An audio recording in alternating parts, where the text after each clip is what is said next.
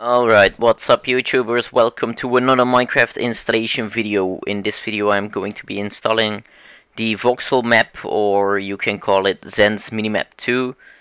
Uh, right now I'm going to make a new profile, just load it up with version 1.11.2 installed. Uh, yeah, while that's happening we can download the files we'll need.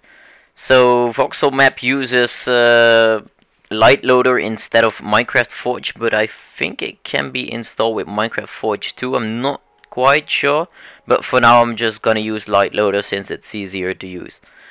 Um, alright, so there's two things you'll need to download. The first one is this Voxelmap, the mod file. So just press this download file button and there you go. Then there's another one which is the LiteLoader version which is 1.11.2 so we'll just click and download it from right here. The easiest way to install your uh, LiteLoader is with the, um, the installer right here. It's for Windows in my case so there we go, the LiteLoader installer. It's just a .exe file which is very easy to use, you'll see in a bit.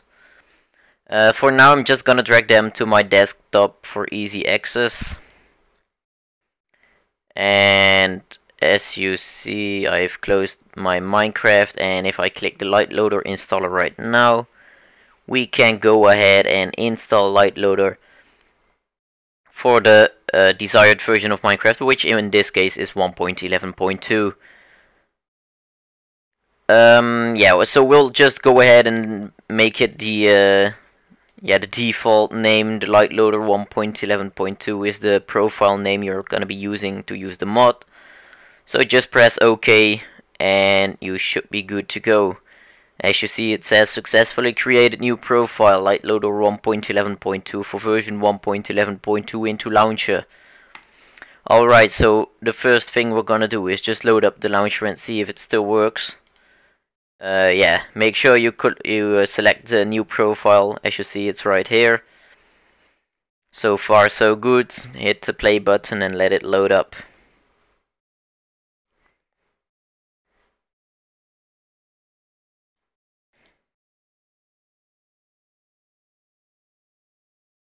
Alright, so it seems to be working. Let's try and see if the mod installation can be done right away. So go to your search bar in Windows and uh, type the uh, percent sign app data percent sign and you will see this uh, folder named uh, yeah as as I said percent set data percent sign app data percent sign or it says roaming.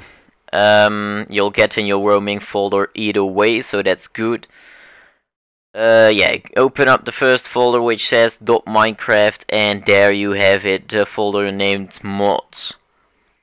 Yeah, so this is the folder just created by uh, by LiteLoader and drag your Voxelmap right here. You can close this now, open up your Minecraft and you should be good to go.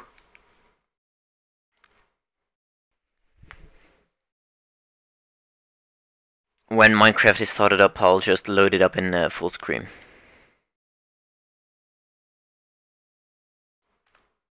Yeah, so I'm uh, gonna make a new world now. Let's just put it to creative. Uh, create new world, let's just see if it all worked. I think it did. Yeah, so there we go uh, the minimap in 1.11.2 you can hit M for the total map. Uh, you can hit B I guess for quick waypoints. No it's not working anymore. Yeah so maybe they've changed a bit of the controls. We can actually just have a quick look. Um, let's see. I think the controls should be right here. Yeah minimap controls. So there we go, waypoint hotkey, they changed it to N instead of B, which it used to be waypoint menu.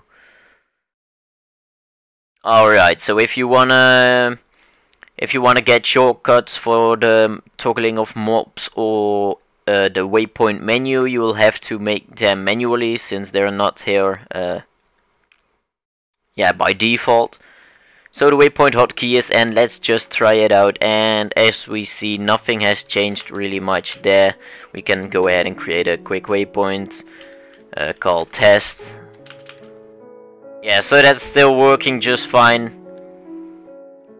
And if you look at the minimap in the top right corner, I think we can, yeah, so you can see the, the waypoints on there and if I move further away, it will show a little arrow to where it is.